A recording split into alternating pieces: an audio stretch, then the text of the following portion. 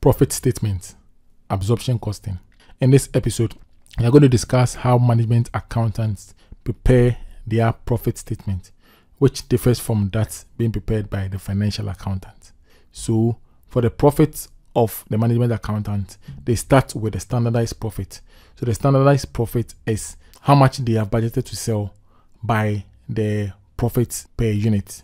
It's not like that with the financial accountant. They have to look at the actual sales multiplied by the selling price, then offset before they get to the profit. After the standardized profit has been gotten, then they adjust for any variances because it was based on a budgeted. When the actual is received, any differences will have to be what offsetted. So the variances can be the over or under absorption of the overhead cost. Normally, the material and the labor, there is not much problem in relation to that. You know the unit cost. So if it is more, just multiply by 8. If it is less, you do likewise. When we come to the standardized profit, it is the selling price per unit multiplied to the number of sales units. Then we less it by the total cost of production. So when we come to the total production cost or the estimated cost, we have the material cost per unit. Then we add the labor cost per unit.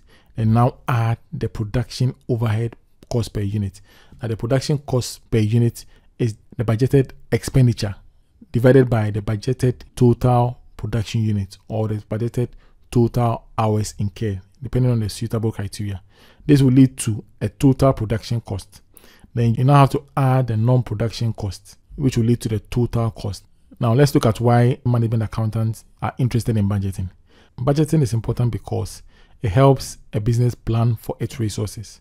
So at the beginning of the year, a business can determine how much they want to sell or they intend trading in. So if they want to sell more, then they have to get the resources to be able to produce what they target. Secondly, budgeting helps to plan for expenses. Once you've seen the quantity of resources that you need, the amount of material, the number of hours, or the number of labor required, you'll be able to determine the cost per unit. When you multiply by the quantity, it will give you how much you require financially to be able to make your plan materialize. Thirdly, Budgeting is essential for setting a selling price. Once you have been able to realistically determine the resources you need and their related expenses, you will now be able to add a margin or a markup to it to arrive at a selling price. And lastly, it enables control. Once you have a budget, you will be able to juxtapose to the actual performance of the business. Any deviations will be easily remedied. Let's test our understanding. ZPLC produces books.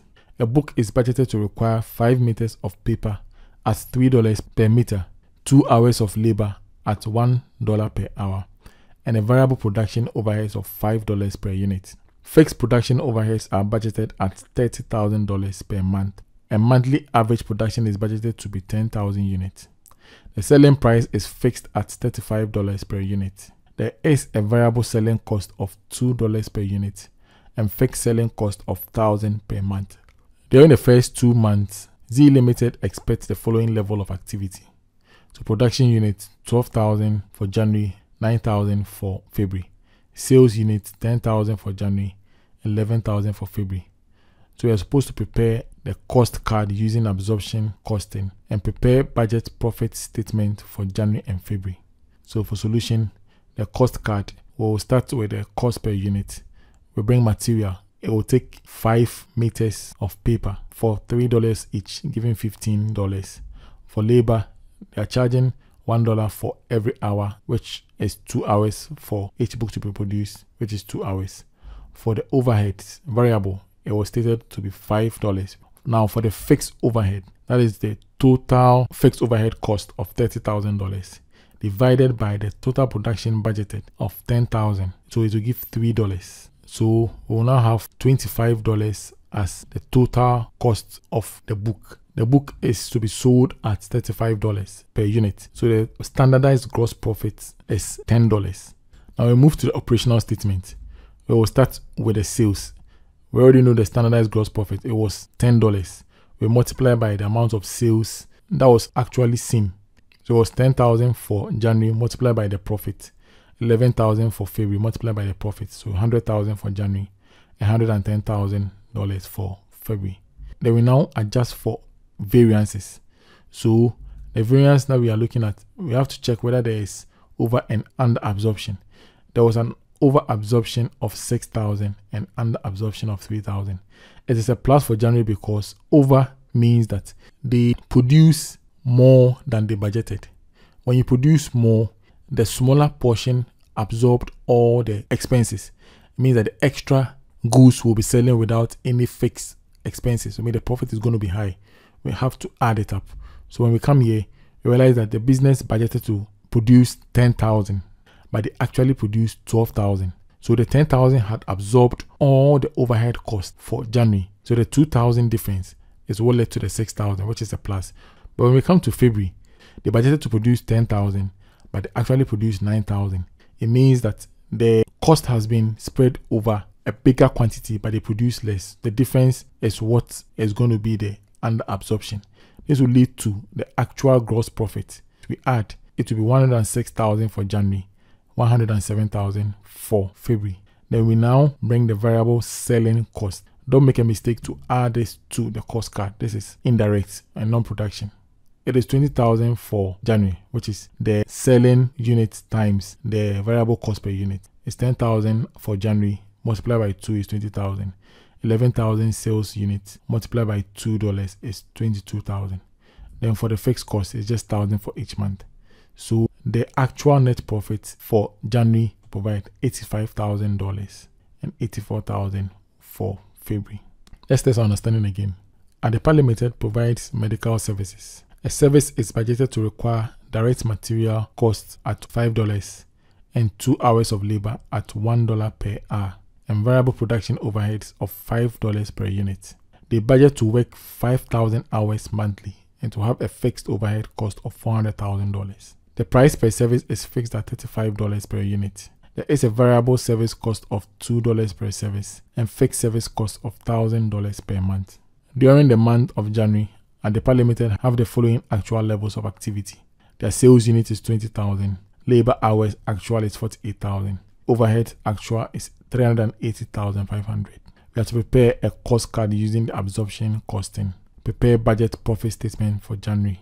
Solution, the cost card. The direct material is $5 as stated in the question. Direct labor is 2 hours for each book to be produced at a labor cost of $1 per hour, giving $2. Then the variable overhead as stated is $5 the fixed overhead will now be the $400,000 fixed overhead cost divided by the 50,000 hours. We are now absorbing based on the labor hours because it's a service oriented business. It will give us the absorption rate per hour, which is $8 per hour.